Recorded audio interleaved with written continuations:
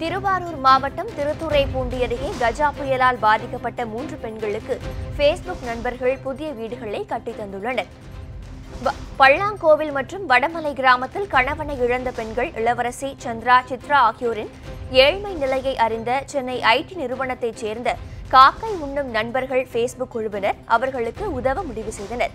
இதையடுத்து இந்த குழுவின் சார்பில் இரண்டு லட்சம் ரூபாய் மதிப்பீட்டில் புதிய வீடுகளை கட்டிக் கொடுத்துள்ளனர்.